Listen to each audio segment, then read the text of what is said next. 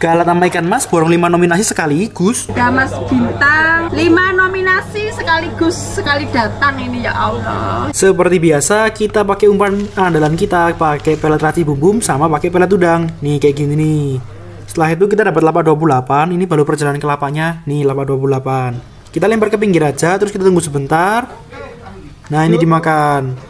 Ini kan yang mendapatkan nominasi dua ya nanti. Kita tadi main dua sesi. Di sesi pertama kita dapat nominasi dua sama ikan terbanyak. Di sesi kedua kita dapat ikan terbanyak, nominasi sama C1.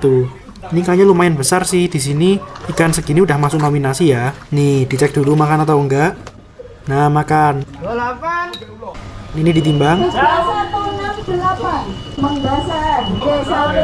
Oke teman-teman, lanjut nanti.